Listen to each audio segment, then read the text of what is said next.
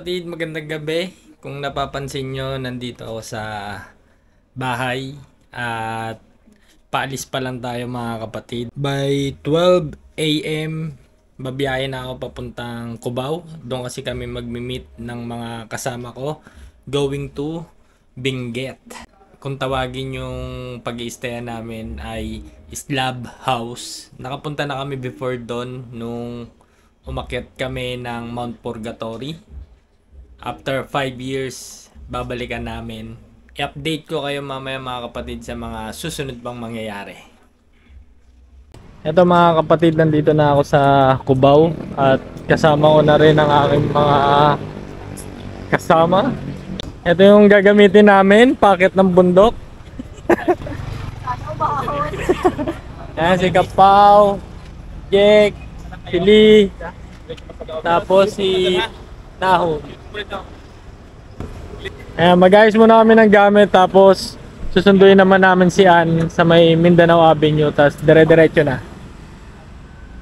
Eto at nandito na kami sa may NLEX Lakeshore. Stopover lang kami, nagkape tapos nagpa-load na rin kami ng Easy Trip. Tapos after neto balik biyahe na ulit. Diretso na kami ng Baguio. Update lang mga kapatid, nandito na kami sa may Baguio. Time check 8:30 AM. Ano kap? Hi Cap, good morning. Baguio na. Bago na. Breakfast muna. Tingin-tingin tayo na pwedeng kainin dito. Either Jollibee o kaya 7-Eleven. Katatapos lang namin mag-breakfast at pupunta na kami sa. Baguio Public Market. Mamimili ng mga pagkain. Okay Tapos ah, okay na, okay na. diretso na kami ng Slab House. Bali, tapos na kami mamalengke. All goods na. Babalikan lang namin sila kung saan sila nagpark. Tapos, good to go na ulit. Bali, nag-stop over lang muna kami rito along highway para palamigin ng konti yung makina kasi puro pataas. Hindi naanan namin kanina. Bali, dire-diretso lang to mga kapatid going to Bocod. Grabe yung mga puno rito. Tapos napakalamig. 52 minutes na lang nandun na kami sa may Bocod, Benguet. Andito na po kami sa may Bocod. Um, Pakak Pio Bocod Benguet. Bali dito sa pataas na yan. Diyan yung papasok papuntang Slab House. Nag-ask na rin kami ng assistance sa mga lokal dito kung kaya ba. Which sabi naman nila kaya naman daw. Bali, susubukan namin. Then, let's see kung ano yung mga susunod pang mangyayari. Update ko kayo mga kapatid.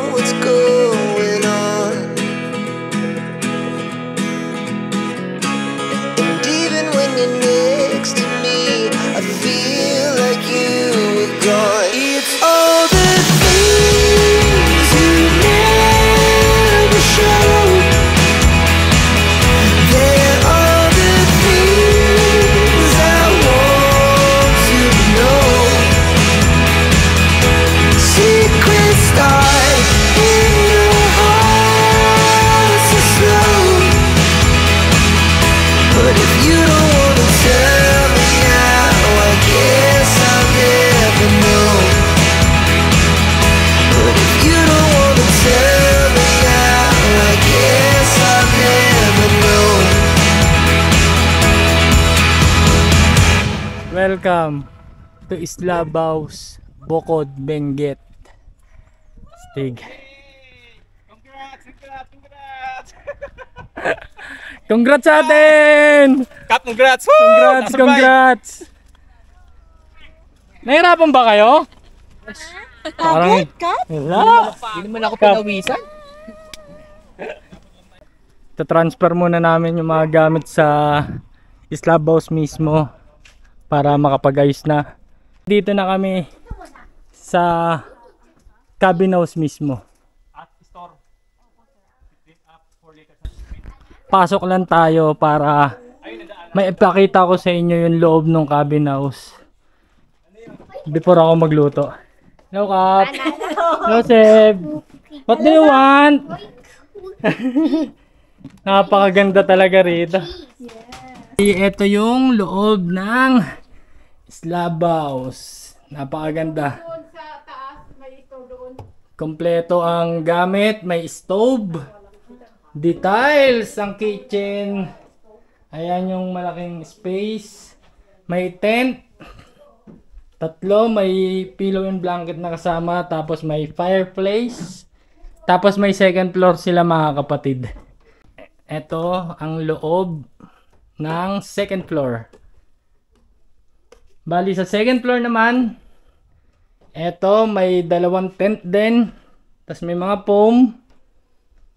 Ito yung pinaka-attic nila. Tapos may terrace sila rito mga kapatid. Tanaw mo yung kapaligiran napakaganda. Ayan, diyan kami galing, diyan kami bumaba. Ayan. Pababa dyan papunta rito sa cabin house. Mamaya mga kapatid, itutur ko pa kayo ng buo kung ano yung mga pwedeng makita dito sa Islab House. So bali, since late na kami nakarating, mag-aasikaso na muna kami ng pagkain para makapag-lunch na kami. Balikan ko kayo mamaya mga kapatid. Ito at luto na ang aming super super late lunch. Meron tayong chicken patir from Pau at chicken adobo from Pau. Ayan mga kapatid, bali ang lunch namin is adobo saka patir, tas rice, tas may saging. Tara na! Let's eat na! Let's eat! Kain na tayo mga kapatid. Let's go! After kumain, Tingin dito. pahinga lang tayo rito. Yan. One more. Panalo yung... Look up. One more. Tingin, ganon, ganon. Turo.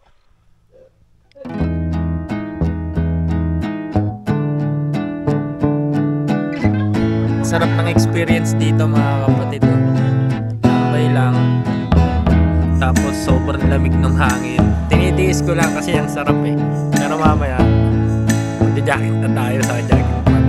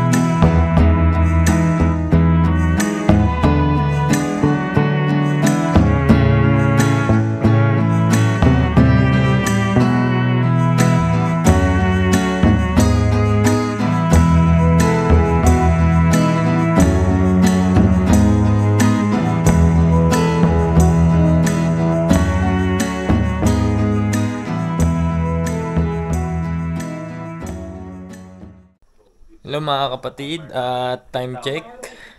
6.30pm na.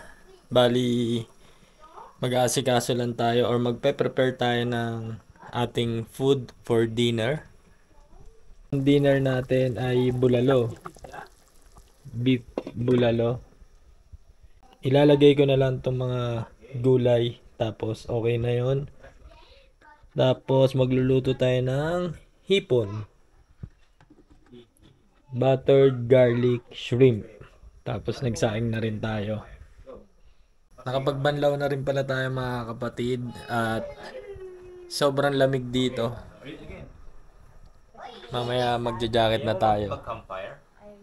Tapos mamaya mag kakampire na rin tayo sa labas. Bali nag-avail kami ng bundle ng mga woods para sa bonfire. Siyempre wala kaming gagawin dito kundi kumain. Ito naman yung dinner namin. Bulalo. At shrimp. Let's go. Kain na, kain. Ayun na, ayun na, ayun na. Time check. 8 Dinner p.m. Let's go! Dinner time! So mga kapatid, katapos lang ng aming dinner. Ayan. At after ng dinner namin, magsisindi kami ng bonfire sa labas. Naka-jacket na rin kami kasi hindi namin kinaya yung lamig. Sobrang lamig talaga mga kapatid. Tumatagos. Yan. Ito yung sisindihan namin mamaya para mainitan naman kami. Tapos susunod ito ng bahay. Hindi, joke lang. Yari kami rito. Tapos etong slab house, wala ka talagang kasamang bahay rito mga kadikit. Kaya kung titignan nyo yung paligid ko ngayon, ayan yung slab house tapos iikot ko. 'Di ba? Wala. Ayan, wala kayong nakita, 'di ba? Nahilo ko. Kasi gabi mo ng video, meron sa likod mo, no? No, no, pag, pag-edit mo, no? Sigurado naman ako walang nakita. Ewan ko lang pag in-edit ko tong video. Sana wala. And waiting lang kami sa iba naming kasama kasi yung ulam namin nung dinner, bulalo, nagsibo. Nahirapan na kaming hugasan. Balikan ko kayo mamaya para sa mga updates. ito yung ito yung bonfire namin. Yan, maya-maya sisindihan na natin yan para mag-init. Mag-init ang mga nilalamig naming nararamdaman. Tapos nag ano rin kami, naglagay rin kami doon sa loob kasi may fireplace din sa loob ng bahay. Pag pag niliyap yan. Ewan ko na nga.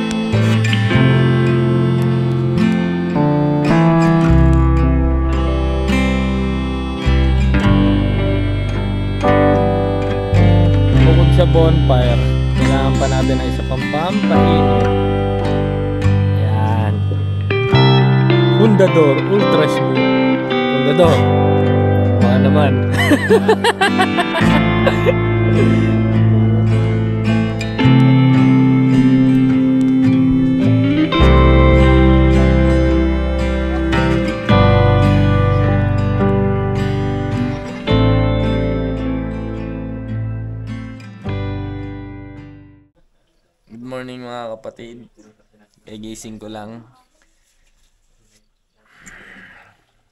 Kape muna tayo. Sobrang lamig abang natutulog ako kagabi. Dalawang dalawang kumot na yung gamit ko pero nilalamig pa rin ako. Magkakape lang muna ako tapos magpe-prepare kami ng pagkain pagkatapos. Time check 10 a.m. at tapos na tayo mag-prepare ng ating pagkain. Adobo rice, bite size na sausage, ham, saka gulay. Tapos yung banana natin. Kain na muna tayo mga kapatid at samahan nyo kami. Hmm, sarap.